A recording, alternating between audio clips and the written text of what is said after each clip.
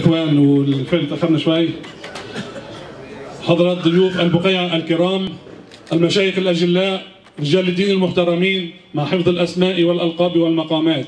أهل بلدنا الأعزاء إنه لمن دواعي سروري وبهجتنا أن نستقبلكم اليوم في بيتكم العامر في البقيعه هذه البلدة التي كانت دوما التعايش والأخوة وحفظ الجيرة الحسنة مسلكا لها في حياتها. فهي تضم بين جدرانها أصحاب الديانات السماوية والذين وجدوا بها حضنا دافئا وبيتا واسعا وفضاء لا محدود يتسع للجميع.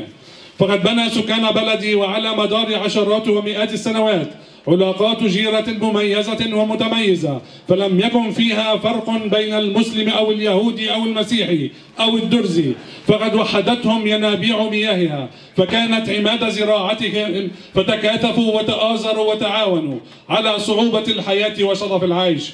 وفي أماسيهم كانت مكان تجمعهم وتلاقيهم فجمعتهم قساوة الحياة ووحدتهم ساعات السمر حول ينابيعها. هذا ما يجب علينا نحن اليوم أن نعلمه لأبنائنا وأجيالنا القادمة. ومن هذا المنطلق بالذات ومن أجل الحفاظ على لحمة العيش المشترك لأبناء البلد الواحد ولدت الفكرة وكان هذا اللقاء. فمع تسارع وتيرة الحياة والاهتمامات الشخصية للسكان كان لابد من وقفة تجمعنا وتوحدنا وترجعنا إلى جذورنا. وكان رمضان الكريم هو الشعلة لتوثيق أواصر العلاقات بين أبناء البلد الواحد والشعب الواحد.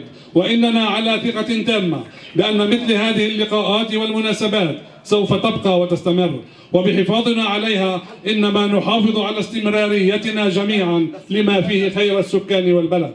اللهم ألف بين قلوبنا وأصلح ذات البين بيننا واهدنا سبل السلام ونجنا من الظلمات إلى النور وجننا الفواحش ما ظهر منها وما بطن وبارك لنا في أبصارنا وأسماعنا وقلوبنا. اللهم إنا نسألك فعل الخيرات وترك المنكرات وأن تغفر لنا وترحمنا ونسألك حبك وحب من يحبك وحب عمل يقربنا إلى حبك.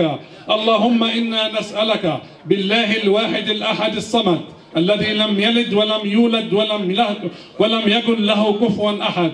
أن تغفر لنا ذنوبنا إنك أنت الغفور الرحيم.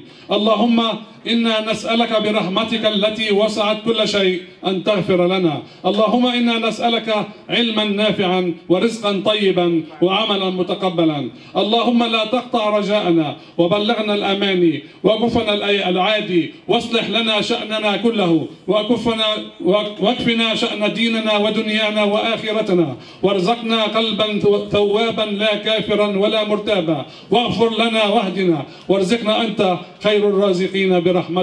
يا أرحم الراحمين. اللهم اجعلنا من المتوكلين عليك واجعلنا من الفائزين لديك واجعل من المقربين إليك بإحسانك يا غاية الطالبين. أيها الحضور الكريم إننا نتعهد أمام الله والناس أن تبقي العلاقات المبنية على احترام متبادل. هي أساس تعاملنا فيما بيننا لما فيه خيرنا جميعا. ضيوفنا الكرام وطئتم القلوب أهلا والأفئدة سهلا. داعين راجين من المولى القدير أن تكون جم لقاءاتنا بأفراحنا. وأهلا وسهلا بالجميع.